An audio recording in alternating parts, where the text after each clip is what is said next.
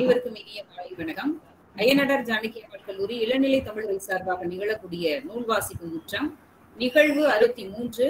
இன்றைய நிகழ்விலே நம்மிடையே நூல் கருத்துரையாளராக விருதுநகர் வேவா வன்னிய பெருமாள் மகளிர் கல்லூரியினுடைய இணை பேராசிரியர் முனைவர் கோ. வித்யகவி அம்மா அவர்கள் வருகை தந்திருக்கின்றார்கள் அன்னார் அவர்கள் என்னுடைய ஆசான் என்பது ஒரு பெருமிதமான ஒரு செய்தி. அம்மா அவர்கள் சிறுகதை படைப்பாளர்.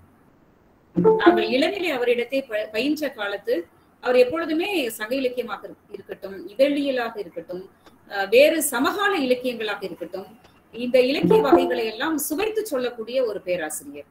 இன்னும் கூடிய கூட அவருடைய வகுப்பறை எங்களுக்கு பசுமையாக நினைவிலே நிற்கிறது. சங்க இலக்கியத்திலே வரக்கூடிய அந்த பாத்திர படைப்புகளை எல்லாம் நாம் கண் முன்னால் உலாவ விட்டு பாடம் நடத்தக்கூடிய அந்த திறன் வாய்ந்த ஒரு பேராசிரியர். அடுத்ததாக இதழியல் கலை என்று ஒரு தாள் நடத்தினார்கள். அந்த தாள் நடத்திய பொழுது எங்களை எல்லாம் மதுரைக்கு அழைத்து சென்ற அந்த காட்சி நினைவுக்கு வருகிறது. அங்கே இருக்கக்கூடிய ஒரு தமிழ் நாளிதழ் ஆங்கில நாளிதழ் களத்திற்கே சென்று அதனை விவரித்து சொன்ன விதம் இன்றும் கூட பசுமையாக இருக்கிறது. நாங்கள் பாடம் நடத்துவதற்கு கூட அது இன்றும் துணையாக இருக்கின்றது அம்மா. ஆஹ் அம்மாவினுடைய இன்னொரு பக்கம் என்று பார்த்தால் அவர் ஒரு எழுத்தாளர் சிறுகதை படைப்பாளர். இவர்கள் இப்படித்தான் என்ற ஒரு சிறுகதையை என்சிபிஹெச் பதிப்பகத்தின் வாயிலாக வெளியிட்டிருக்கின்றார்கள். எப்பொழுதுமே படைப்பாளர்கள் சமூகத்தை உற்று நோக்குவதும் மனிதர்களை உற்று நோக்குவதும் அவர்களுக்கான சிக்கல்களை நோக்கி நகர்வதும் என்பதாக அவர்களுடைய படைப்பு தளம் இருக்கும். அந்த அடிப்படையிலே அம்மா அவர்களினுடைய படைப்பும் சமூகம் சார்ந்த ஒரு சாமானிய மக்களினுடைய ஒரு வாழ்க்கை சிக்கலை சார்ந்ததாக இருக்கிறது. கல்லூரியிலும் பல்வேறு அமைப்புகளிலே இருந்து அவர்கள் நற்பணி செய்திருக்கின்றார்கள். பல்வேறு ஆளுமையாளராகவும் இருக்கின்றார். எழுத்து ஆளுமையும் நிர்வாக ஆளுமையும் பெற்ற எங்கள் பேராசிரியை முனைவர் கோ விந்தியகௌரி அம்மா அவர்களை நாங்கள் பெரும் மகிழ்ச்சியோடு இந்த அவையிலே வரவேற்று அறிமுகம் செய்கின்றோம். வணக்கம் அம்மா. அம்மா அவர்கள் இன்று சித்திரக்கூடம் என்கின்ற அந்த நூலை குறித்து பேச இருக்கின்றார்கள். சித்தார்த் பாண்டியன் அவர்களினுடைய நூல் கவிதை நூல் என்று நினைக்கின்றேன். ஒரு கவிதை நூல் ஒரு இரண்டு மூன்று நூல்கள் பேசிய நிலையிலே இன்று நான்காவது நூலாக இருக்கும் என்பது என்னுடைய ஒரு சிறு கருத்தாக இருக்கிறது. எனவே கவிதை நூலை பேசுவது என்பது அந்த கவிதை இலக்கியத்திற்கான சொற்கள் அதற்கான நயங்கள் அதற்கான கற்பனை அதற்கான மொழிநடை கருத்து வளம் ஆகியவை பொதிந்ததாக இருக்கும். எனவே சித்தார்த் பாண்டியன் அவர்கள் எழுதக்கூடிய எழுதியிருக்கக்கூடிய அந்த கவிதை நூல் குறித்து பேச அம்மா அவர்கள் வருகை தந்திருப்பது எங்களுக்கு எல்லாம் மகிழ்ச்சியாக இருக்கிறது. ஒரு கவிஞரை அடையாளம் காட்டும் முகமாக வருகை அம்மா அவர்களை மீண்டும் ஒரு முறை வரவேற்று அமைகின்றேன் நன்றி வணக்கம். தொடக்க உரை வழங்கிய அருள்மொழி அம்மா அவர்களுக்கு நன்றி. இப்பொழுது நூல் கருத்துரைக்கான நேரம். சித்தார்த் பாண்டியன் அவர்களின் சித்திரக்கூடு என்கின்ற நூல் குறித்த கருத்துரை வழங்குவதற்கு விருதுநகர் வேவா வன்னிய பெருமாள் பெண்கள் கல்லூரி தமிழ்துறை இணை பேராசிரியர் முனைவர் போ விந்திய கௌரி அம்மா அவர்களை அன்போடு அழைக்கின்றோம். பன்னாட்டு அளவிலான இணையவழி நூல் வாசிப்பு முற்றத்தில் பங்கேற்றுள்ள அனைவருக்கும் வணக்கம். பன்னாட்டு ஒருங்கிணைப்பாளர் முனைவர் குணசீலன் சுப்பிரமணியன் அவர்களுக்கும் முனைவர் ரத்தின வேங்கடேசன் அவர்களுக்கும் முனைவர் வானதி பகீரதன் அவர்களுக்கும் திருமதி சக்தி விஜயகுமார் அவர்களுக்கும் மன மகிழ்வோடு வணக்கத்தை தெரிவித்துக் கொள்கிறேன். அய்யநாடார் ஜானகம்மாள் கல்லூரி.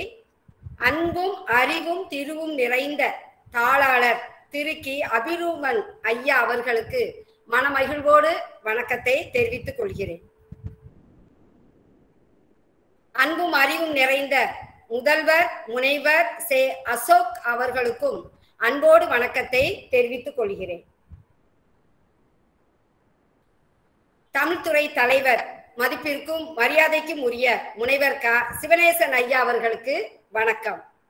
ஒருங்கிணைப்பாளர் முனைவர் நா. அருள்மொழி முனைவர் சு. வினோத் முனைவர் சே. சாந்தி அனைவருக்கும் அன்போடு வணக்கத்தை தெரிவித்துக் கொள்கிறேன். சித்தார்த்த பாண்டியன் ஐயா சிறு வயதிலிருந்தே கவிதைகளை எழுதி பல பரிசுகளை பெற்றவர். நாள்தோறும் கவிதை நினைவோடு வாழ்பவர். பல விருதுகளை பெற்றவர். கவிஞர்களிடத்தும் பல அறிஞர்களிடத்தும் கல்வி கற்ற ஆசானிடத்தும் பெரும் மதிப்பிற்குரியவர். கவிதை தொடர்பான நல்ல பல நூல்களை எழுதியுள்ளார். அன்னார் அவர்கள் எழுதிய நூல்கள் தமிழ் ஏந்தி உலகாழ்வோம் கொண்டு புரட்சி செய்வோம் சித்திரக்கூடு முருகு பாண்டியம் வெளிச்சத்தில் ஒரு கனவு. கவிஞருடைய மூன்றாவது நூலை நான் இங்கு பேச விளைகிறேன் தமிழ் ஏந்தி உலக ஆல்பம் ஏற்கனவே மதிப்புரையாக வழங்கிவிட்டேன். வெளிச்சத்தில் ஒரு கனவு எங்களுடைய முதுகலை தமிழ்துறையில் நேரடியாக மாணாக்கர்களுக்கு மிக சிறப்பாக எடுத்துரைத்தேன். அதிக நேரம் கிடைத்ததால் மிக சிறப்பாக என்னால் மாணாக்கர்களை ஆசிரியர்களை பார்த்து பேச முடிந்தது. அது இன்னும் எனக்கு வசதியா இருந்தது. அருள்மொழி அம்மா கேட்டதுனால அவரோட ஐந்து நூல்களை நான் படித்திருந்தாலும் மிக சிறப்பான ஒரு நூலா நான் நினைக்கிறது சித்திரக்கூடு பாண்டிச்சேரி பல்கலைக்கழகத்துல. முதுநிலை தமிழ் இலக்கியம் படிக்கும் மாணாக்கருக்கு பாடநூலா இருக்கு.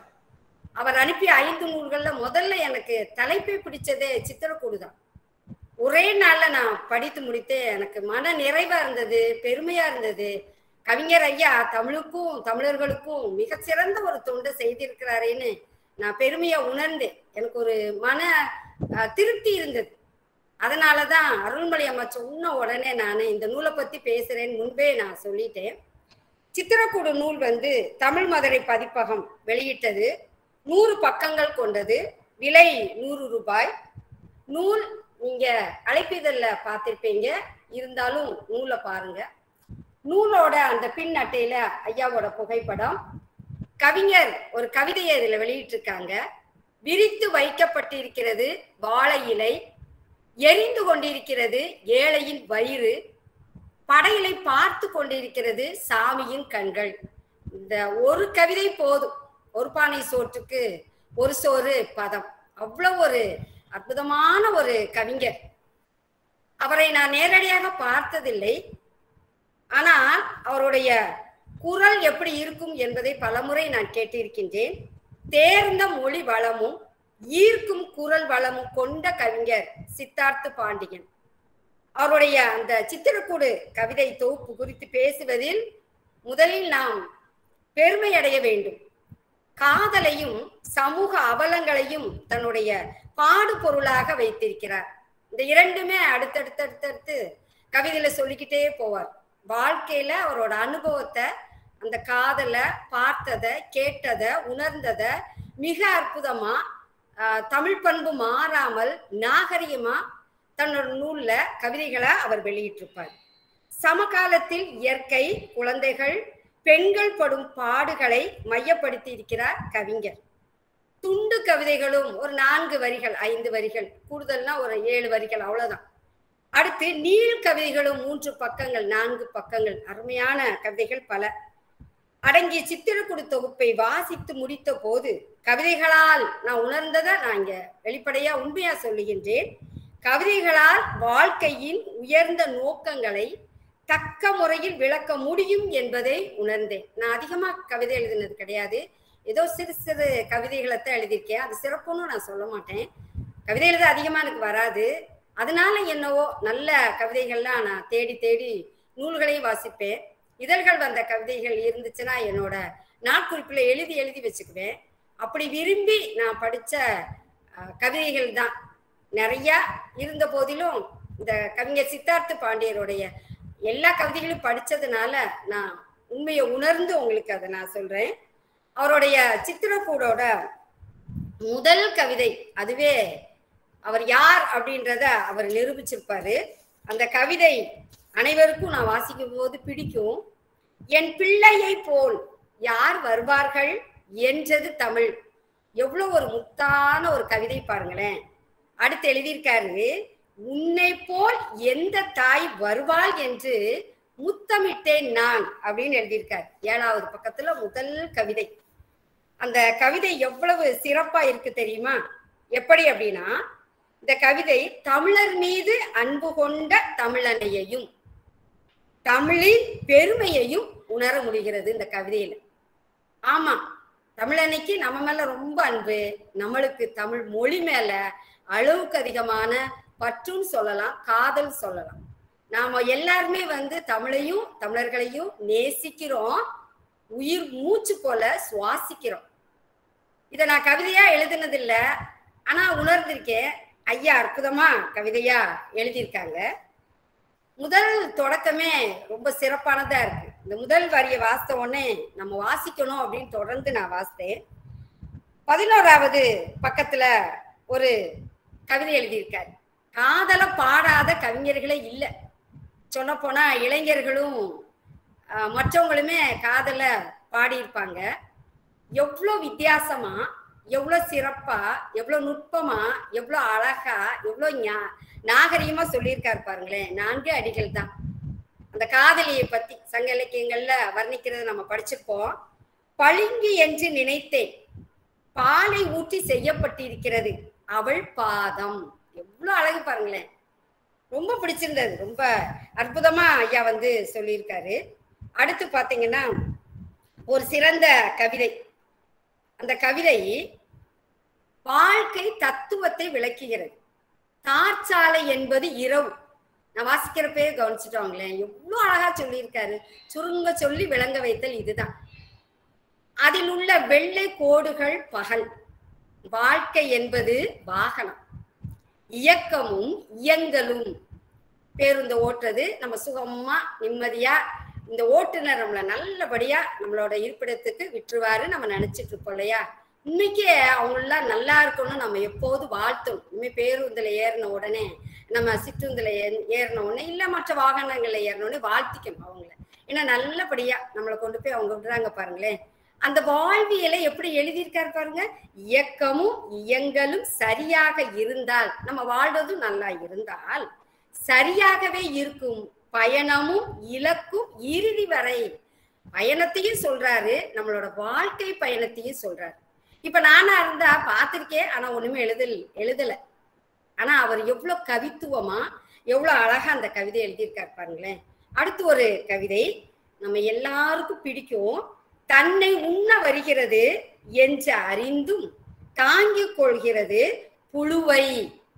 ஈர உள்ளமும் பச்சை மனதும் கொண்ட இலை.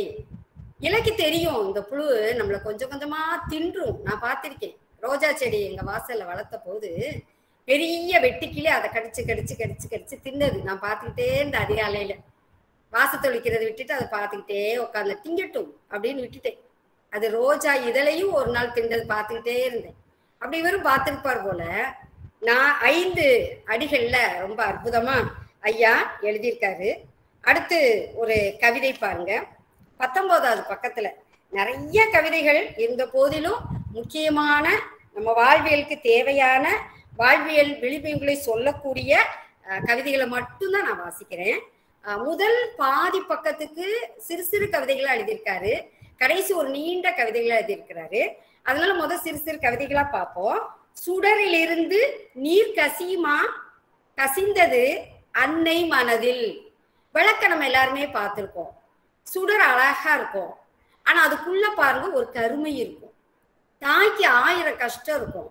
ஆனா அந்த தாய் வந்து அத்தனை கஷ்டங்களை தாங்கிக்கிட்டு அவள வாழ்வு கூட இருக்கும் இன்றைய சூழல்ல.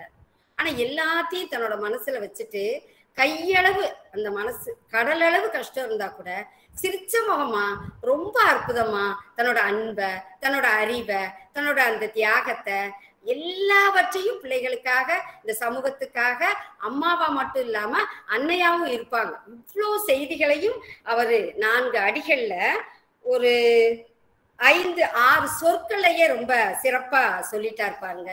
எவ்வளவு அற்புதம். இந்த மாதிரி கவிதைகளை நம்ம நாட்குறிப்புல எழுதி வச்சுட்டோம்னா மனச்சோர்வு வந்ததுன்னு வச்சுக்கோங்க. நான் என்னோட தாய்க்கு செய். என்னோட ரெண்டு பிள்ளைகளுக்கு நான் தாய். அப்ப இதை படிக்கிறப்ப எனக்கு என்ன தோணும்? சில சூழ்நிலைகள்ல கோபம் வந்தா கூட இல்ல கோவப்படக்கூடாது. பிள்ளைகிட்ட பொறுமையா இருக்கணும். பிள்ளைகிட்ட அன்பா இருக்கணும். எவ்வளவு வேலைகள் இருந்தாலும் இல்ல இல்ல பிள்ளைகளை நல்லா கவனிச்சுக்கணும். அப்படின்ற அந்த எண்ணத்தை எனக்கு கொடுக்கக்கூடியது இந்த மாதிரி ரொம்ப அற்புதமான அந்த கவிதைகள் தான். அடுத்து ஒரு கவிதை இருபத்தி நாலாவது பக்கத்துல இருக்கு. உணவாவேன் மருந்தாவேன் உச்சரித்து கொண்டே இருந்தது இலை. ஒரு மரத்துல உள்ள இலை சொல்லுது. ஒண்ணு இந்த மனிதர்களுக்கு விலங்குகளுக்கு உணவாவை. மருந்தாவை. ரெண்டுல ஏதோ ஒண்ணு ஆவை. உச்சரித்து கொண்டே இருந்தது இலை. வாய்ப்பு அளித்தால் தானே என்றது காலம். காலம் சொல்லிச்சு. உனக்கு வாய்ப்பு கொடுத்தா தானே அப்படின்னு அதுகிட்ட பேசிச்சு. மருந்தாகாவிட்டாலும் உரமாவது ஆவேன். பயன் தராமல் உதிர மாட்டேன். நான் மருந்தாலா இல்லாட்டாலும் உணவாகாட்டாலும் நான் நிஜமா என்ன பண்ணுவேன்? அவங்களுக்கு உரமாவது ஆவேன். உதிர மாட்டேன். உறக்க சத்தமிட்டபடி உதிர்ந்தது சருகான இலை. இதை படிச்சோடனே எனக்கு என்ன தோணுச்சு தெரியுமா? எல்லாருமே ஏதாவது ஒரு விதத்துல நிச்சயமா மற்ற உயிர்களுக்கு பயனுடையவங்களா இருப்போம் இருக்கிறோம். அதுதான் உண்மை. அந்த வாழ்வியல் தத்துவங்களை அழகா இலை அந்த காலம் பேசுற மாதிரி ரொம்ப சிறப்பா கவிதையா கவிஞர் வந்து கொடுத்திருக்காரு. அடுத்து ஒரு கவிதை. தன்னம்பிக்கை நன்னம்பிக்கையை நம்முள் வளர்க்கும் ஒரு கவிதை. அந்த கவிதை என்ன அப்படின்னா ரொம்ப சிறப்பான ஒரு கவிதை. அந்த கவிதையில சிறப்பு என்ன அப்படின்னா நட்பு பத்தியும் நாம வசந்த காலத்தை பத்தியும் நம்மளால உணர முடியும். பள்ளியில நம்ம படிச்சிருக்கப்போ நம்ம கூட எப்போதும் பயணிக்கிற தோழன் தோழி அவங்க கிட்ட சில சமயம் நம்ம கொஞ்சம் முரண்பாடாக நடந்துக்குவோம். பல சமயங்கள்ல ரொம்ப அன்பா இருப்போம். ஆனா அவங்களோட பழகுனாது சில சமயம் நம்மளுக்கு ஏன் பல சமயங்கள்ல தன்னம்பிக்கையும் தரும் நல்ல நம்பிக்கையும் தரும். கவிதையை பாருங்களேன். எழுதுவதற்கு குச்சி இல்லை என்ற நண்பனுக்கு குச்சி கொடுத்து எழுதச் சொல்வதில் குச்சியை கொடுத்து எழுது அப்படின்றப்போ எழுதுறதுக்கு ஒரு நம்பிக்கை வந்துடும் ஆரம்பிக்கிறது அன்பு. அப்பதான் முதல் ஒரு பழக்கம். மீண்டும் ஒரு நாள் நான் கொடுத்த குச்சியை கொடு என்பதில் தொடங்குகிறது வெறுப்பு. அன்னைக்கு குச்சி கொடுத்தல எனக்கு கொடு அப்படின்னு கோபமா கேட்கறது அப்போ அந்த இரு நண்பர்களுக்கு ஒரு சிறு வெறுப்பு தான் வரும். டூ என்பதில் தொடங்குகிறது. சின்ன வயசுல காயா பழமா? டூ போடுறேன் அப்படின்னு சொல்லுவோம் இல்லையா? அதுதான். பகைமை. பகையாயிட்டாங்க. சிறு கன பொழுதுதான் ரொம்பலாம் இல்ல. சற்று நேரத்தில் பழம் விடுவதில் தொடங்குகிறது. இப்படி வச்சுப்போம் ஆஹ் பழம் விடு காயெல்லாம் வேண்டாம் அப்படின்னு நம்ம சொல்லுவோம் இல்லையா? நட்பு. இந்த பள்ளிக்கூட நாட்களில் மறைந்திருக்கிறது வாழ்க்கை முழுமைக்குமான வசந்த காலம். பள்ளி நினைவுகளை நம்ம நினைச்சுப்போம். நான் நிறைய நாள் நினைச்சிருக்கேன். மீனாட்சி கல்லூரியில மதுரையில படிச்ச அந்த நாட்கள் தான் எனக்கு வசந்த காலம். முதுகலை அப்புறம் படிச்சது எல்லாமே கொஞ்சம் பக்குவமா நம்ம இருந்திருக்கோமா? அதனால அந்த நினைவுகள்லாம் கொஞ்சம் குறைவாத்தான் இருக்கும். அது வேறு மாதிரியா இருக்கும். பொறுப்பா இருக்கும். ஒரு அக்கறையா அப்படி வாழ்ந்துட்டோம். ஆனா அந்த இளநிலை படிப்பு இருக்கு பாருங்களேன். எனக்கு அது ரொம்ப பிடிக்கும். இந்த கவிதையை படிச்ச உடனே ஆமா நமக்கு வசந்த காலம்ங்கிறது கல்லூரியில நாம படித்த அந்த காலங்கள் தான் அப்படின்னு நான் நினைச்சேன். அடுத்து ஒரு சிறந்த கவிதை. அந்த கவிதை பாருங்களேன். ரொம்ப சிறப்பானது. ஊன்றும் விதையே புரட்சி. புரட்சிக்கு எத்தனையோ தலைவர்கள் எத்தனையோ கவிஞர்கள் எத்தனையோ எழுத்தாளர்கள் பல வகையான விளக்கங்களை அவங்க சொல்லியிருப்பாங்க. இவர் எழுதியிருக்காரு நான்கு சொற்கள் தான். புரட் ஊற்றும் விதையே புரட்சி. புரட்சிக்கான விளக்கம் ரெண்டே ரெண்டு சொல்ல முடிஞ்சு போச்சு. உயரும் மரமே விடுதலை. விடுதலைன்னா என்ன? ஆமா முளை. அதுல இருந்து தான் மூளை. ஒரு விதை தான். மண்ணுக்குள்ள ஒரு இருட்டுக்குள்ள அது கிடக்குது. முண்டி முண்டி முண்டி நல்லா முளைச்சிருது. எங்க கல்லூரியில பிள்ளைகளுக்கு அதை வரைஞ்சு காட்டுவேன். எவ்வளோ ஒரு புரட்சி அதுக்குள்ள இருந்திருக்கு எவ்வளோ ஒரு போராட்டம் அதுக்குள்ள இருந்திருக்கு. மண்ணை விட்டு வெளியே வந்துருச்சு. அழகா முளைக்கும். அப்புறம் அதுதான் மரமாகும். பூக்கும் காய்க்கும் கனியாகும் திருப்பம் விதையாகும். ஏ அப்பா இயற்கை எவ்வளவு அற்புதமா படிச்சிரு படைச்சிருக்கு பாருங்களேன். அதை எவ்வளவு சிறப்பா கவிதையில கொடுத்திருக்காரு பாருங்க. நாமளும் புரட்சிகரமான வாழ்க்கை வாழணும். நாமளும் எப்போது விடுதலை உணர்வோடு வாழணுன்றத ரொம்ப அற்புதமா வந்து கவிதையில அவர் வந்து படிச்சிருக்காரு. அடுத்து ஒரு கவிதை நாற்பத்தி ஓராவது பக்கத்துல. பக்கத்துல. சிறந்த ஒரு சிறந்த ஒரு இரண்டு இரண்டு பாம்புகள் பாம்புகள் இது ஒரு இறுகி திருகி பின்னி கிடந்தன. நல்ல பாம்பை நான் நேரடியா பார்த்திருக்கேன். இரண்டுமே பின்னி பிணைந்து ஆடுவதை எங்க வயல்ல எங்க அம்மா காட்டி நான் பார்த்திருக்கேன். பாம்பு எங்க வீட்டுக்குள்ள வந்து அதை எங்க மாமா தாய் மாமா அடிச்சு எனக்கும் என் தங்கைக்கும் காட்டியிருக்காங்க. இந்த கீர்த்தீஸ்வரிய இது பண்ணுங்க மியூட் பண்ணுங்க. இறுகி திருகி பின்னி கிடந்தன பிரியை போல அந்த பாம்புகள். வைக்கோலை வச்சு ரெண்டு ஆண்கள் எதிரெதிர உட்காந்துட்டு வைக்கில் எடுத்து அந்த பிரி செய்வாங்க. பார்த்துருக்கேன் ரசனையா இருக்கும். சிறு வயதுல ஆசையா உட்காந்து பார்ப்போம் உட்காந்துக்க பாருன்னு சொல்லுவாங்க. அது உதிரி உதிரியா இருக்கிறத ஒன்றாக்கி இதை வச்சு என்ன செய்வாங்க? கட்டுவாங்க. அந்த பாம்பு ஆண் பெண் ரெண்டுமே இறுகி திருகி பின்னி கிடந்தன பிரியை போல ஊமை அணிய அழகா அவர் வந்து சொல்லியிருக்காரு. அந்த பாம்புகள். எதையோ சொல்ல போறாரு நினைச்சா உண்மைக்கு ரொம்ப நல்ல கருத்தை நம்மளுக்கு சொல்லியிருக்காரு. நமது எல்லை சண்டையை புணர்ச்சி என்கிறார்கள். புனைதலை பார்த்து சண்டை என்கிறார்கள். சில சமயம் மனிதர்கள் தவறா புரிஞ்சுக்குவாங்க. சொல்லி சிரித்து கொண்டன அவை இரண்டும் கரையான்களை இரையாக்கி கொள்ள புற்றுக்குள் புகுந்தோம். அதனோட செயல் என்னது? கரையான்களை இரையாக்கி கொள்ள புற்றுக்குள் புகுந்தோம். அதை நமது வீடாக்கியது. கால பொய். எலிகளை தின்று ஏப்பம் விட்டு கொண்டிருந்தாலும் வணங்கி போற்ற தொடங்கியது ஆதி உழவர்களின் கை. ஆதி உழவர்களும் சரி இப்போ உள்ளவங்களும் சரி என்ன செய்வாங்க? கையெடுத்து கும்பிடுவாங்க. நான் கேள்விப்பட்டிருக்கேன். காலத்தின் பாத்திரத்தில் கடவுளை பருக வைத்தார்கள். நம்மோடு சேர்ந்து நம்பிக்கை பொய்களில் நம்மை கழுத்தில் சூடியும் விரல்களில் மாட்டியும் இடுப்பில் சுற்றியும் காதில் பூ சுற்றினர் கடவுள் கதைகளில் நம்ப தொடங்கியது மூட மனதின் மூளை கூடங்கள். கடவுள் தொடர்பான நல்ல செய்திகளும் நம்மளுக்கு தெரியும் கடவுள் தோற்றமும் தெரியும் முன்னோர்கள் சொல்லியிருக்காங்க. மனிதர்களிடம் சில மூட நம்பிக்கைகளும் உண்டு. அதை அழகா தொடர்பு படுத்தி எடுத்துக்காங்க ஆறாம் ஏவாளில் இட்டு வைத்தார்கள் சாத்தான் என்றொரு சாப சரக்கை.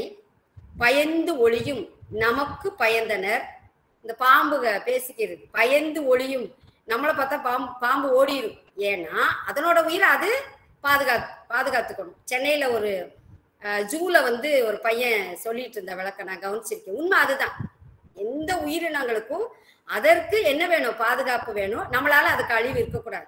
நம்ம அதை அழிக்க போறோம்னா மட்டும்தான் அது நம்மளை வந்து தாக்கும். ஒருவேளை விதி நமக்கு சரியாக இல்லை என்றால் பாம்பு தீண்டி நம்மளுக்கு நிகழக்கூடாத ஒன்று நிகழும். அந்த பாம்புகள் பேசிக் கொள்கின்றன. பயந்து ஒளியும் நமக்கு பயந்தனர் ஒளிந்து தாக்கும் மனித பதர்கள். அவங்க நேரடியா இருக்காங்கன்னா நம்ம ஒளிந்து பாம்பை தாக்குற மாதிரி உண்மை. வீட்டுக்குள்ள பாம்பு வந்தா மறைஞ்சிருந்தா அது எங்க போகுதுன்னு பார்த்து தேடி பிடிச்சு என்ன செஞ்சிருவோம்? கொன்றுவோம். ஓரடி கோழி சின்ன ஒரு கம்பால கூட அடிச்சிருவோம். நம்மை அடித்து கொள்கிறார் கிராமத்துல உள்ளவங்க எல்லாம் இந்த பாம்போட ஒரு சூட்சுமம் தெரிஞ்சவங்க எந்த கோலும் இல்லாம டக்குன்னு கையில பிடிச்சிருவாங்க. எங்க தாய்மாம் பேர் பாலைய பிடிச்சு எங்களுக்கெல்லாம் காமிச்சாங்க. ஆசையா இருந்துச்சு பாம்பு. ஆனா எப்படிதான் அப்படி பிடிச்சாங்களோ அதிசயமா தான் இருந்தது.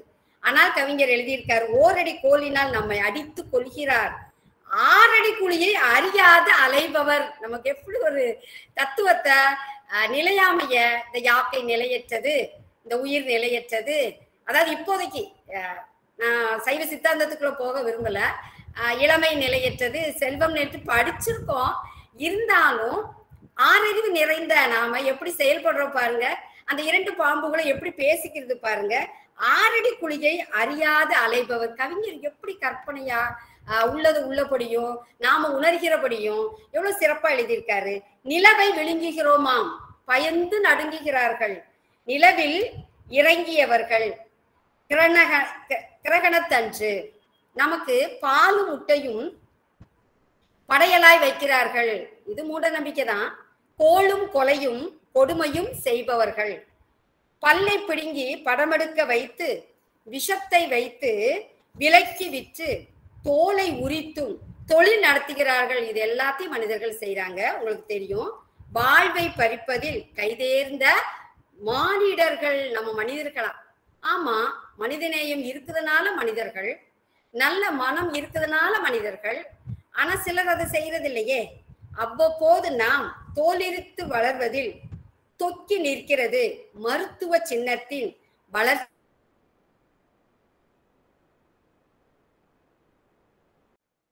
திரும்பி மெதுவாக சொன்னது பாம்பில் ஒன்று. சத்தம் போடாமல் நகர்ந்து விடுவோம். மனிதர்கள் நெருங்கும் சத்தம் கேட்கிறது. சத்தம் போடாம நம்ம போயிடுவோம் மனிதர்கள் வர்றாங்க. எதற்கும் தலையை மறைத்து கொண்டே நெளிந்து செல். அந்த மூட மூடத்தனத்தை கவிஞர் எப்படி எழுதியிருக்காரு பாருங்களேன்.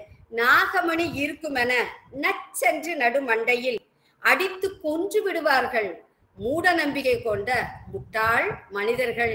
இதை படிக்கிறப்போ கொஞ்சம் மனசு கஷ்டமா தான் இருந்தது. ரெண்டு பாம்புகள் மனிதர்களை இப்படி பேசுதே அப்படின்னு. அமைதியாய் நகர்ந்து மறைந்தன அந்த இரண்டு நல்ல பாம்புகள். என்ன ஒரு அருமையான கடைசி சொல்லுன்னு பாருங்களேன். ஒரு கவிஞன் இப்படிதான் கவிதை எழுதணும். சொல்லிக்கிட்டே வரணும். அது கூட சாதாரண விஷயமா தான் இருக்கும். ஆனா அந்த கடைசி ரெண்டு வரி தான் கவித்துவமானதா நச்சுன்னு நம்மளால மறக்க முடியாத மாதிரி மற்றவங்களுக்கு இதை படிங்களேன். அந்த உணர்வை நீங்க உணருங்களேன். இப்படியெல்லாம் நீங்க வாழுங்களேன்னு சொல்லணும் அப்படின்னு தவிப்போம். அந்த தவிப்பு இந்த கவிதையை வ- வாசிக்கிறவங்களுக்கு இருக்கும்.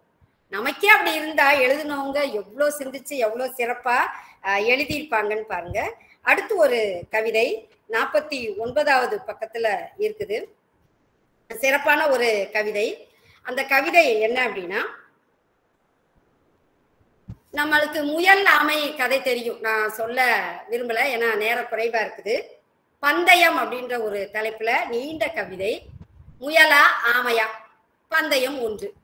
மெதுவாய் நடந்து மெதுவாய் நடந்து மெதுவாய் மெதுவாய் நடந்து நடந்து கோட்டை தொட்டது ஆமை. ஆமை வந்து வாக்கை சூடிடுச்சு. மெதுவா மெதுவா போயிடுச்சு. விரைவாய் தாவி விரைவாய் தாவி வேக வேகமாய் விரையும் வழியில் ஆமை தானே அலட்சியம் பொங்கியது. நிழலில் ஒதுங்கிய முயலின் மூளை பதிவில் சொகுசு நிழலில் சிறிய தூக்கம். அது நல்ல சொகுசா தூங்கிருச்சு. அதுக்கு ஒரு அலட்சியம். மனிதர்களிடத்து இப்படி அலட்சியம் இருக்குதானே? தூங்கி எழுந்து ஓடியதன் விளைவு கோட்டை விட்டது சிறுமுயல் சோம்பேறித்தனத்தினால தூக்கத்துக்கு முக்கியத்துவம் கொடுத்ததுனால அடுத்த உயிரை அலட்சியமா நினைச்சதுனால அது போட்டின்னு யோசிக்காம நினைச்சதுனால என்னாச்சு? கூடி குழுமிய கூட்டத்திடையே முயலே முதலென ஆரம்பித்தது நடுவர் நரி. நமக்கு அந்த போட்டி முடிவெல்லாம் தெரியும் தான் கவிஞன் வித்தியாசமா நினைச்சிருக்காரு. ஆனா சமூகத்துல ஒரு நிகழ்வு நிறையவே நிகழ்ந்துகிட்டே இருக்கு. தொடர்ந்து நிகழ்ந்துகிட்டே இருக்கு. இது என்னைக்குதான் முடியுமோ? தெரியல. ஆனா அவர் அதை நுட்பமா இதுல கொடுத்துட்டாரு. என்னவா? கூடிய குழுமிய கூடி குழுமிய கூட்டத்திடையே முயலை முதலென ஆரம்பித்தது நடுவர் நரி. ஓங்கிய குரலில் அறிவித்துவிட்டு மூளையில் இருந்த ரகசிய அறையில் முயல் கொடுத்த அன்பளிப்பு பணத்தை எண்ணி எண்ணி மகிழ்ந்து சிரித்தது நடுவர் நரி. தீர்ப்பா? தப்பா சொல்லிட்டு. லஞ்சம் வாங்கிக்கிட்டு லஞ்சம்னு எழுதாம கவிஞர் அன்பளிப்பு பணத்தைன்னு எழுதிட்டார். அதை எண்ணி எண்ணி மகிழ்ந்து சிரித்தது நடுவர் நரி அப்படின்னு முடிச்சிருக்காரு. என்றைக்குத்தான் இந்த லஞ்சம் ஒளியுமோ தெரியவில்லை. அடுத்து ஒரு கவிதை இயற்கையை நம்ம வந்து ரொம்ப ரொம்ப பாதுகாக்கணும். எனக்கு இயற்கை ரொம்ப பிடிக்கும். மனிதனும் ரொம்ப முக்கியமானவன் தான். ஆனாலும் மனிதன் என்ன தவறுகளை செய்யறான் இன்றைக்கு நிறைய பேர்னே நான் சொல்லுவேன். என்னை சேர்த்து தான் சொல்லுவேன். இயற்கை வந்து ரொம்ப அற்புதமானது. இயற்கை மிஞ்சி எதுவும் கிடையாது. உலகாயுத சித்தர் சொல்லியிருக்காரு மனிதனை மிஞ்சியும் எதுவும் இல்லை. அவ்வளவு சிறப்பு. அந்த தத்துவத்துல அவர் ரொம்ப அழகா சொல்லியிருப்பாரு. ஆனா இயற்கை நம்மளுக்கு அள்ளி அள்ளி அள்ளி கொடுத்துருக்கு. எதிர்பார்ப்பு இல்லாம கொடுத்துருக்கு. நம்ம பாக்குறோம் பஞ்சபூதங்களுடைய செயல்பாடுகள்லாம் நம்ம பாக்குறோம் ஆனாலும் ஏனோ செயற்கையை நோக்கி நோக்கித்தான் போறோம். அழிவான செயல்களை தான் கொஞ்சம் நம்ம செய்யறோம் தவறுதான். இங்க பாருங்க சுரண்டல் தலைப்பு வெடித்து சிரித்த வெள்ளை பருத்தியில் மறைக்கப்பட்டிருந்தது மனிதர்களின் மானம். விளைந்து சிவந்து நாணி வளைந்த நெல் மணிகளில் ஆறிக்கொண்டிருந்தது மனிதர்களின் பசி.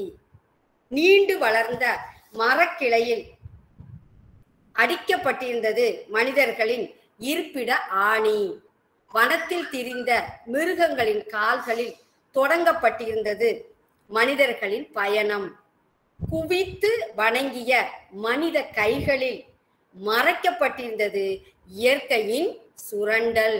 இந்த கவிதையை கேட்ட பிறவாவது இந்த வாசிப்பு நூல் வாசிப்பு இந்த முற்றத்தில் இருக்க நாமளாவது இனிமேலாவது நாம இயற்கையை பாதுகாப்போம்.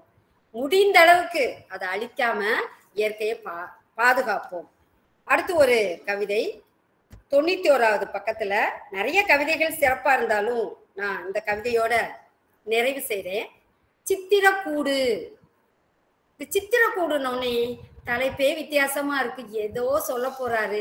சரி படிப்போம் அப்படின்னு சொல்லிட்டு நான் வாசத்திலேயே அந்த முதல் தமிழ் அன்னை நம் மீது கொண்ட அந்த அன்பு நாம் தமிழ் மீது கொண்ட அந்த பற்று அந்த கவிதையை வாசித்துட்டு ஏன்னா எனக்கு எப்பயுமே முதல் வந்து ரொம்ப பிடிக்கும். என்னதான் பல கவிதைகள் எழுதியிருந்தா கூட அந்த கவிஞர்களோ இல்ல படைப்பாளிகளோ அந்த முதன்மைக்கு ரொம்ப முக்கியத்துவம் தருவாங்க. அதுக்கடுத்து தலைப்புக்கு ஏற்ற கவிதையை தேடி எடுத்து நான் இதை படித்தேன் ரொம்ப சிறப்பா சிறப்பான ஒரு கவிதை. நம்ம எல்லாருக்குமே ரொம்ப பிடிக்கும். நீங்க அப்படியே கற்பனையா நீங்க உங்க கண்ணுக்கு முன்னாடி அந்த காட்சியை கொண்டு வாங்க. கொண்டு வர மாதிரியே தான் கவிஞரை எழுதியிருக்காரு. மஞ்சள் பளிங்கில் செதுக்கிய எழுத்தாணி முனையாய் இருந்தது அவற்றின் பிஞ்சு அலகுகள். பல வகையான பறவைகளை நீங்க பார்த்துருப்பீங்க. கலர் கலரா இருக்கும். நான் மீனாட்சி கல்லூரி படிக்கிறப்போ எதேச்சிய பார்த்தப்போ ஒரு மரக்கிளையில முழுமையா ஒரு குருவி மஞ்சளா இருந்துச்சு. அதனோட கொண்ட பகுதி மட்டும் அப்படியே மெரூன் கலரா இருந்துச்சு. உடனே தூங்கிட்டு இருந்தவங்களால எழுப்பிங்க. பாருங்க. ஏடி உயிரை வாங்குற எழுப்புற இதை போய் பாக்குறதுக்கு நாங்க இல்ல இல்ல. இதெல்லாம் நம்ம அப்புறம் பார்க்க முடியாம போயிடும் என்ன அழகு என்ன அழகு. இன்னும் என் இருக்கு. எங்க வீட்டுல எத்தனையோ பறவைகள் வரும். நான் ஒரு இடத்துல பார்த்தீங்கன்னா மண் பானையில நிறைய தண்ணி காலையில என் பிள்ளைங்க எங்க அம்மா நான் நல்ல தண்ணி வச்சிருவோம். பல வகையான பறவைகள் வரும். வெயில் காலத்துல அதுக்குள்ள குட்டி குருவிகள்லாம் முங்கி முங்கி குளிக்கும். அதெல்லாம் போட்டோ எடுத்து வச்சிருக்கோம். பார்ப்போம். ரொம்ப ஆசையா இருக்கும். எத்தனையோ வகையான பறவைகள் நான் பார்த்துருக்கேன். இவர் எழுதியிருக்காரு பாருங்களேன் பிஞ்சு அழகுகள். இறக்கை முளைக்காத தேன் மிட்டாய்களாய் தேன் மிட்டாய் நம்ம பார்த்துருப்போம் தின்றுப்போம் அதை அப்படியே கவிதையில கொண்டு வர்றாரு. தேன் மிட்டாய்களாய் சிறகுகளை அசைத்தபடி ஆமா அது சிறகு அசைக்கிறது ஒரு தனி அழகுதான். இங்கும் அங்கும் உருண்டு குளிக்கிறப்ப நான் பார்த்திருக்கேன். முங்கி முங்கி குளிக்கும். சுத்தி முத்தி பார்த்துக்கும். யாராவது பார்த்துருவாங்களா? ஏதாவது நடந்துருமா? நான் சொல்லுவேன் இங்க பாருடா அது எப்படி சுத்தி முத்தி பார்க்குதுன்னு. காக்கா தண்ணி குடிக்கிறது மைனா ரெண்டு கொஞ்சிக்கிறது. எங்க மாடியில மைனாக்களோட கூடு நாலு இருக்கு. எத்தனையோ மைனாக்கள் பறந்து போயிருக்கு. அதெல்லாம் நாங்க பார்த்துருக்கோம். இவரெல்லாம் ஒண்ணுமே சொல்ல மாட்டாரு. நாங்க அதை அப்படியே வச்சிருக்கோம். சோத்துக்கு வெள்ளை அடிக்காம கூட இருக்கட்டும். அது பால் போட்டு போனால் போகட்டும். அதுக்கு உயிரோட இருக்கட்டும். எங்களை பார்த்து பயப்படாதுங்க. ரெண்டு ஜோடி ஆன பெண்ணு ரொம்ப அழகா இருக்குங்க. அது ஒரு தனி அழகுதான். இங்க பாருங்களேன். சிறகுகளை அசைத்தபடி இங்கும் அங்கும் உருண்டு நெருக்கி அடித்து முண்டி கொண்டிருந்தன. அந்த குஞ்சு பறவைகள் மெல்லிய அழகில் அவை சப்திப்பதை அதாவது சத்தமிடுவதை மெல்லிசையாக்கி கொண்டிருந்தது. வேய்ந்த இனவில் கச்சிதமாய் கட்டப்பட்டிருந்தது அந்த பறவை வீடு. எங்கோ தூரத்தில் விரையும் தாயின் அண்மையை எப்படியோ கண்டுபிடித்து கூட்டுக்குள் குதூகலிக்கின்றன. குஞ்சு பொடுசுகள். வஞ்சனையின்றி வந்த வேகத்தில் அவைகளின் வாய்களில் ஊட்டப்படுகிறது. உணவு பாசம். ஒரு தாய்க்குருவி மூணு குஞ்சுகளுக்கு அடுத்தடுத்தடுத்து வாய்க்குள்ள இருந்து உணவு கொடுக்கும். நம்ம பார்த்துருக்கோம். இரவின் மடியில் இணைந்தே கொஞ்சி குலாவுகின்றன தாயின் அடியில் தழுவியபடி குஞ்சு குழந்தைகள். விடியலின் சிவப்பில் உணவெடுக்க விரையும் தாய்க்கு விடையளித்து கத்துகின்றன கூட்டு சிறகுகள். எங்கோ இருந்து பாய்ந்தபடி துளைக்கிறது. கூடு தாங்கும் அந்த மரத்தின் தூரை. இப்பதான் கொஞ்சம் நிதானமா கவிதை வாசி நம்ம படிக்கணும். ஒரு கோடரி காம்பு வெட்டும் அதிர்வு தாங்காமல் அமைதி காக்கின்றன. மரத்துக்கு எப்படி வலிக்கும்? எல்லாத்துக்கும் தான் வலிக்கும். இலைக்கு கிளைக்கு மரத்துக்கு வேருக்கு கீழே உள்ள பூமிக்கடியில உள்ள அந்த வேரெல்லாம் என்ன பாடுபடும்? அது எப்படி வளர்த்துச்சு அவ்வளோ பெரிய மரத்தை? எவ்வளோ துயரம்? அதனோட அந்த துயரத்தை அவலம்ன்ற நம்மளுக்கு சொல்ற வார்த்தையை தான் சொல்லணும். பாருங்களேன் வெட்டும் அதிர்வு தாங்காமல் அமைதி காக்கின்றன. குஞ்சுகள் வலி தாங்காமல் அழுது ஒடுகின்றன. மரத்தின் கிளைகள் நசுங்கிய கூட்டின் சிதைவுகளில் சிதைந்து தேய்கிறது.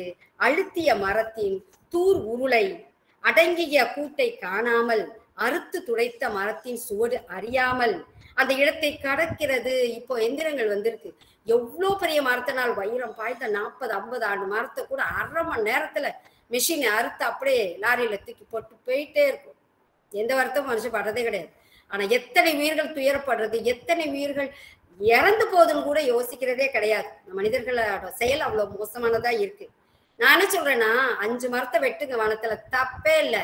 ஆனா நாலு மரத்தையாவது நட்டுறணும். வருங்கால சந்ததிகளுக்கு அது பயனை தரும். ஆனா செய்யறோமா சில நேரங்கள்ல செய்யறாங்க பல நேரங்கள்ல செய்யறது இல்ல கவிதையை பாருங்களேன். அந்த இடத்தை கடக்கிறது கூடு தேடும் தாய்ப்பறவை. இடமே அதுக்கு தெரியல. அடையாளமே தெரியல. அது அந்த இடத்தை கடந்து போயிருச்சு தாய்ப்பறவை. பாருங்களேன். குழப்பத்தில் வெகு தூரம் பறந்த அதன் உணர்வு கண்களில் தெரிகிறது. சுவர் ஒன்றில் வரையப்பட்டிருந்த சித்திரக்கூடு தலைப்புக்கு சரியா கவிஞர் வந்துட்டார். என்னவா? அதுக்கப்புறம் வந்து துயரம். படிக்கிற நமக்கே மனசு அப்படியே கஷ்டமா இருக்குது. இது வந்து கவிதை தான் அப்படின்னு என்னால உணரவே முடியல. கண்ணுக்குள்ள காட்சியை வச்சுக்கிட்டு இந்த பறவைகளையும் இயற்கையா மரங்களை செடிகளை கொடிகளை நான் விவசாய குடும்பத்தில் பிறந்தவ அப்படி பார்த்து ரசிச்சவ அவ்வளவு கஷ்டமா இருந்தது இது வாசிக்கிறப்போ. தன் அழகில் சுமந்த உணவின் மகிழ்வை அந்த சித்திர கூட்டில் சிரித்து கொண்டிருக்கும் ஓவிய குஞ்சுகளுக்கு ஊட்டு எத்தனித்து கொத்தி கொத்தி கொஞ்சம் கொஞ்சமாய் சுவற்றில் மோதி செத்து கொண்டிருக்கிறது அந்த தாயின் மனது. அந்த தாய் நம்ம தான் ஆனா இருந்தானே வயதான ஏன் பருவ பெண்களா இருந்தானே இளைஞரா இருந்தானே யாரா இருந்தானே இந்த கவிதை பிடிக்கிறப்போ நம்மளும் தாய் தான் நம்ம தான் அந்த தாய் பறவை. நம்மளோட மனசு அந்த தாய்மை உணர்வு. இப்படி இப்படி எழுதியிருக்காரு பாருங்களேன். ரொம்ப ரொம்ப ஆச்சரியமா இருக்குது. இதெல்லாம் படிக்கிறப்போ எந்த பறவையாவது நம்ம விரட்டுவோமா? என் வீட்டுல இருக்காதன்னு எந்த பறவையாவது ரசிக்காம கடந்து போவோமா? அதெல்லாம் போக மாட்டோம். போகவே முடியாது. இதான் கவிஞர் நம்மளுக்கு அப்படி கொடுத்துட்டு போறது. இந்த கவித்துவமான கவிதைகள் தான் ஆயிரம் ஆண்டுகள் ஐயாயிரம் ஆண்டுகள் அஞ்சு லட்சம் ஆண்டுகள் ஆனாலும் நிச்சயமா வாழும். நிறைவா ஒன்றே ஒன்று சொல்லி நான் முடிக்கிறேன் கவிஞர் சித்தார்த்த பாண்டியன் வாழ்க்கை உண்மைகளை ஊடுருவி காணும் திறம் வாய்ந்தவர் என்பதையும் தாம் கண்ட ஆழ்ந்த உண்மைகளை விளக்கும் ஆற்றல் படைத்தவர் என்பதையும் கவிதைகள் வழி அறிந்தோம். அவருடைய கவிதைகள் எப்படி இருந்ததுன்னா சொற்களின் இனிய அமைப்பு முறை எதுகை மோனை ஒளிநயம் குறிப்பு இயைபு முதலியவைகளால் கவிதைகள் புதுமை எழிலோடு விளங்குகின்றன. சிறந்த கவிஞர்கள் ஒரு வகையில் மெய் உணர்வாளர்கள். அவர்களுடைய கவிதைகளில் வாழ்க்கையின் பொருளை அறிகிறோம். அதன் உண்மை சிக்கல்களை தெரிந்து கொள்கிறோம். இம்மெய் உணர்வும் வாழ்க்கை விளக்கும் உயர்தர கவிதையின் ஆற்றலும் கவிதையின் உணர்ச்சி பண்பின் நேர்முக விளைவாகி விளைவு ஆகும் என்பர் சி. டி. வின்செஸ்டர். அருமையான ஒரு கவிதைய படித்த பெருமையும் உங்க எல்லாருக்கும் சிறப்பா சொன்ன ஒரு மன நிறைவும் எனக்கு உண்டு. இதுகாரும் வாய்மொழி கேட்ட அனைவருக்கும் நன்றி. வாய்ப்பளித்த அனைத்து உள்ளங்களுக்கும் நன்றி கூறி விடைபெறுகிறேன். நன்றி வணக்கம். நன்றிங்கம்மா. உண்மையிலே மிக ஒரு அழகான ஒரு உரை. ஏன்னா நூல் குறித்த அனுபவ மதிப்பீடு என்பது மிகவும் மதிப்பு வாய்ந்தது. அந்த வகையில் சித்திரக்கூடு என்கின்ற அந்த நூல் வாசிக்க நேர்ந்த அந்த அனுபவத்தை உரைத்து கவிதை நினைவோடு வாழுகின்ற கவிஞர் என்று அறிமுக தொடக்கம் மிக சிறப்பாக அமைந்தது. அதுபோல கவிதை மனம் கமழுகின்ற ஒரு பேச்சாக.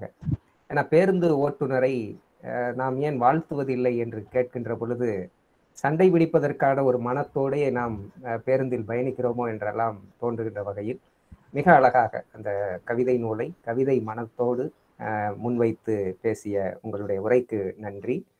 இப்பொழுது நூல் இந்த நிகழ்வு குறித்ததான கருத்துரை நேரம். கருத்துரை வழங்குவதற்கு முதலாம் ஆண்டு வணிக நிர்வாகவியல் மாணவர் கே. கார்த்திகேயன் அவர்களை அன்போடு அழைக்கின்றேன்.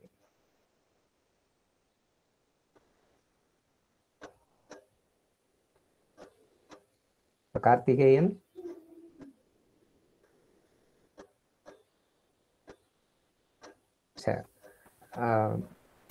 மலேசியாவை சேர்ந்த குணசீலன் சுப்பிரமணியன் ஐயா அவர்களை கருத்துரை வழங்க வருமாறு அன்போடு அழைக்கின்றேன்.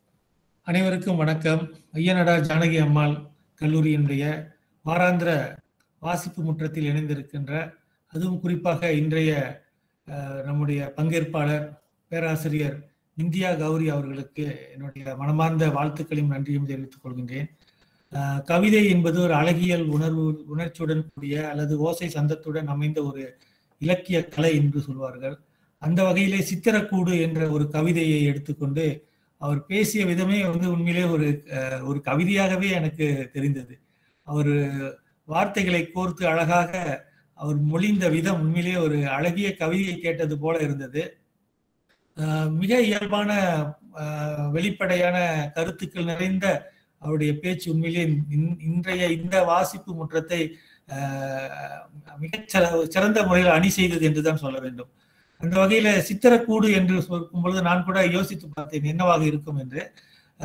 கடைசியாக அவர் சொன்னார் எனக்கு ஒரு ஞாபகம் வந்தது. பறவைகளின் வாடகை இல்லா வீடுதான் மரங்கள் என்ற ஒரு நிலையில இந்த மரங்களை பற்றி அவர் பேசியது உண்மையிலேயே மிகவும் சிறப்பாக இருந்தது.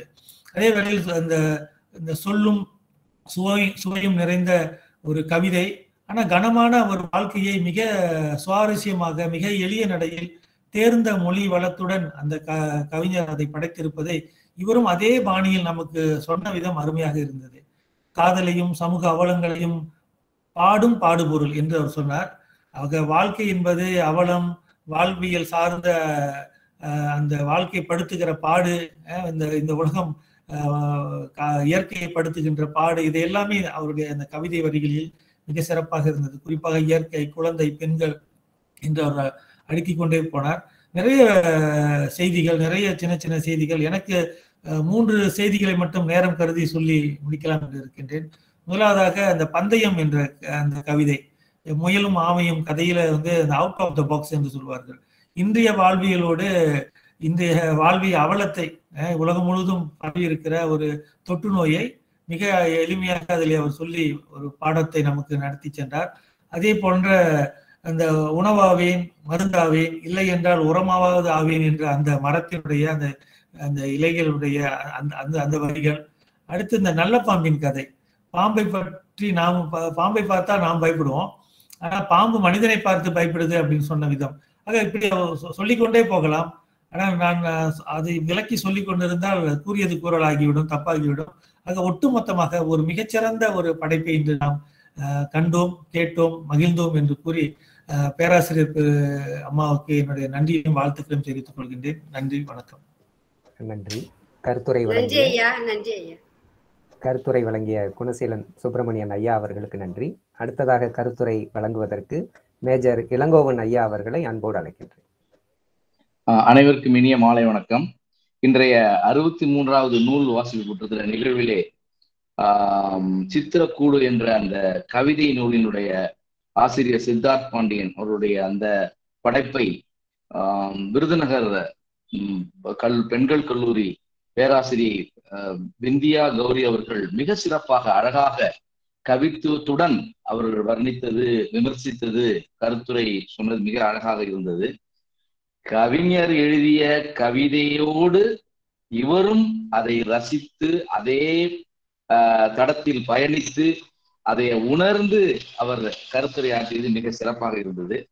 குறிப்பாக சொல்ல வேண்டும் என்றால் ஒரு வாகனத்திலே நாம் பயணிக்கும் பொழுது ஒரு பொது பேருந்திலே பயணிக்கும் பொழுது நாம் நமது ஆஹ், கவலைகளை ஒட்டி சிந்தனைகளோடு தான் பயணித்துக் கொண்டிருப்பேன் ஒழிய அந்த ஓட்டுநரையோ நடத்துனரையோ நாம் நன்றி சொல்லி விடைபெறுவது இல்லை. அப்படி ஒரு ஒரு பண்பாட்டை நாம் வளர்த்துக் கொள்ள வேண்டும் என்ற அவர் ஒரு கருத்தை சுட்டி காட்டியிருக்கிறார் மிக அழகாக இருக்கிறது. ஆஹ் திரு குணசீலன் சுப்பிரமணியன் அவர் சொன்னது போல அந்த இலையினுடைய அந்த உணர்வு உணவாவேன் மருந்தாவேன் உரமாவது ஆவேன் என்று எப்படி பார்த்தாலும் ஒரு பயனுள்ள பொருளாக அமைகிறது அந்த இலையினுடைய வாழ்க்கை சொன்னது. அடுத்தபடியாக குழந்தைகள் அஹ், சின்ன வயதிலே பால பருவத்திலே பள்ளிக்கூடத்திலே நாம் அஹ், எழுதுகோலை மற்றவர்களுக்கு கொடுத்து அன்பாக பழகுகிறோம்.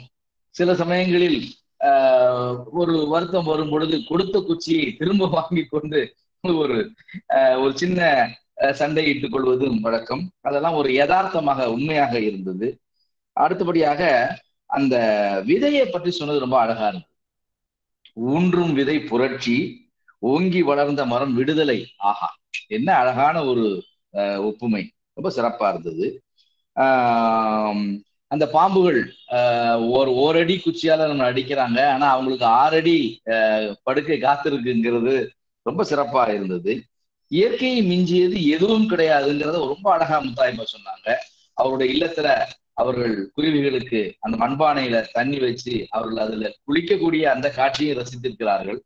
ஆக மொத்தத்துல ஆஹ் இந்த அறுபத்தி மூன்றாவது நூல் வாசி குற்றம் கொஞ்சம் வித்தியாசமாவே இருந்ததுன்னு சொன்னோம். ஏனென்றால் இது ஒரு கருத்தாக கவிஞராக இருந்து ஒரு பேராசிரியை ஒரு எழுத்தாளர் அந்த க எழுதிய கதாசிரியரை போலவே இவரும் கவிதையினுடைய அந்த நயத்தை உணர்ந்து ரசித்து இயற்கையோடு ஒன்றி விமர்சனம் செய்து மிக சிறப்பாக இருந்தது.